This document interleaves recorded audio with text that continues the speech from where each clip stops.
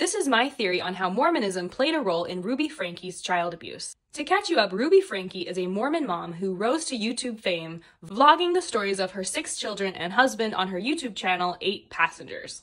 This August, her son showed up at the neighbor's house with deep wounds in his wrists and ankles. He had clearly been tied up and was so malnourished that he came asking for the neighbors to call the police and for food. She's been charged with six counts of child abuse, and she has pled guilty to four of those. There's been a lot of coverage on this case, but I think looking at it through a Mormon lens is important and adds clarity. Ruby Franke's parenting often sparked controversy and many people called her abusive, even on what she was willing to show online, what she posted in her videos. Some of these instances include making her teenage son sleep on a beanbag for seven months as punishment for teasing his brother, and when her six year old's teacher said that the six year old forgot her lunch, Ruby Franke's response was that she should just go hungry, and that is punishment for her forgetting her lunch. As someone who spent seven years teaching, I think a lot of these instances fall under very traditional, strict parenting that is so borderline abusive, many people think it should be actual abuse. It should be categorized as abuse. But unfortunately, because of how CPS operates, the children will almost never be removed from the home because of these situations. Usually they try to do some sort of education, or CPS just shrugs and says they're not doing anything to break the law, and they walk away. I honestly think one of the reasons this YouTube channel was so successful is because a lot of parents are this strict. A lot of parents love to see this type of almost borderline abusive content because it reinforces that they are good parents too. When they see Ruby Franke doing these things to teach her kids a lesson, they subscribe because they want to see more content like that.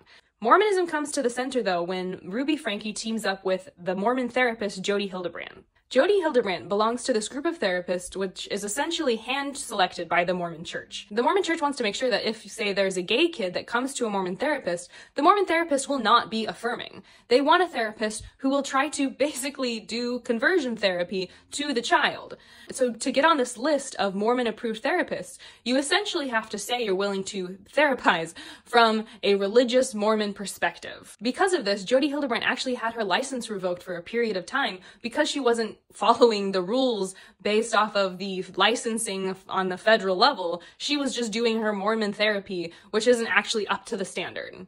There are three doctrines I'm reminded of when I look at a case like Ruby Franke. You can also see this in the story of Lori Vallow, who killed her children, who also said that her children were possessed by devils and it was her responsibility to take them from the earth. If you've read the book Educated, you see similar themes, where Tara Westover's parents, specifically her father, like a possession, and in many ways practice dominionship or ownership over her and use that as a justification for child abuse. This idea of dominion or ownership is in the Bible, it's in the Book of Mormon, and typically, I think for mainstream Mormons, it's taken to mean that the husband has dominion over the family. He is the head of the household. That is a phrase that should be familiar to everyone. Head of the household. However, when taken too far, this idea of dominion or being the head of the household or having dominion as the mother over the children is viewed very much as ownership. Children are not humans, they are belongings. And so if you have this traditional view over your kids, if you've heard the phrase, I brought you into this world, I can take you out of it. When these people take this Mormon or religious belief to the extreme, they believe that they own these children and, and that they can do whatever they see fit with them. The Book of Mormon is also filled with justification for violence based on religion. There's a story where one of the main Book of Mormon characters, Nephi, cuts off the head of his foe in the name of God, and because God literally commanded him to do so. I think that's why we see Lori Vallow, Jodi Hildebrandt, Ruby Franke saying that they have a spiritual feeling that their children are evil and that they have to punish them based off that feeling. Mormons also believe that personal revelation is the most important aspect of religion.